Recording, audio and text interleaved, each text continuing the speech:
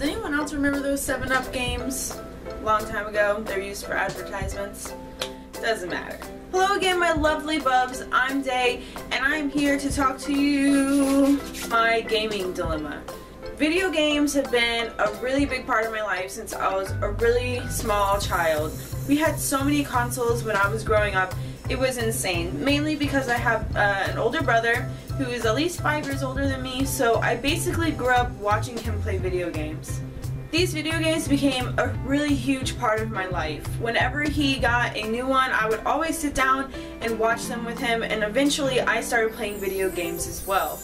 Now, I absolutely love video games. I love to play them, and I even love watching them just as much as I like playing them. I even remember when my brother got that first golden cartridge Zelda game and he got it and we were just so excited and we played it and I'd play Sonic, I'd play the Duck Hunt game, I'd play F-Zero X, Animaniacs, Toy Story. I mean, these are all like Sega and a whole bunch of different other games that I used to play. But I also have a really big problem with something that I wish I could fix.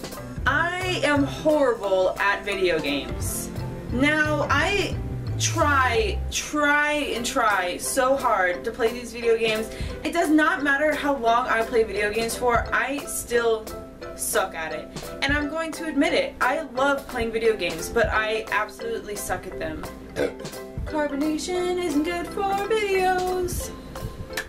So that being said, I just absolutely love video games, but I'm just really, really bad at them, and I just can't get the hang of it sometimes.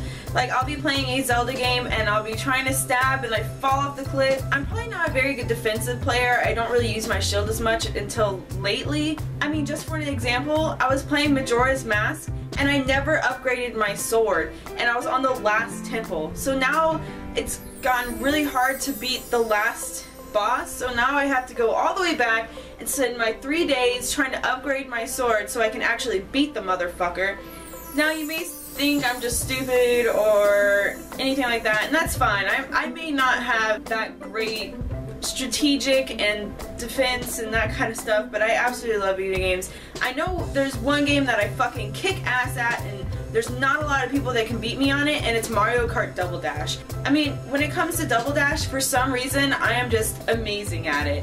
And I don't know what it is. When push comes to shove, it makes it really hard for me to play video games because I just suck so bad. I should probably read into a lot more of it because I would know to upgrade my swords or something like that, but for some reason I just go straight into the storyline and I don't do any side things, so I'm kind of stuck and I always get fucked over. Also, another reason why I can't finish a game is because normally when I start a game, I've already seen someone else beating it. Because like I said before, I like watching people play video games. So it's kind of hard to go into the video game knowing you already know what's going to happen. No, that's the wrong one. So the only video games I've ever really been able to finish is probably Zelda and Assassin's Creed 3 and I don't know, other just really random off weird things. But video games will always be a part of my life and I will always play them. When I play video games, I kind of torture myself because I just, I die and die and die, but I still go through it as hard as I can and I am will be the first one to admit it. I am the worst video game player, but I love playing video games and it's really hard when you suck at them, but you kind of just gotta power through that, you know? Anime character. Not. Even though I'm bad at video games, it doesn't stop me from playing anything. Without them, I honestly would not be the person I am today. Thank you so much, my bubs. These videos are all for you and I hope you enjoy them.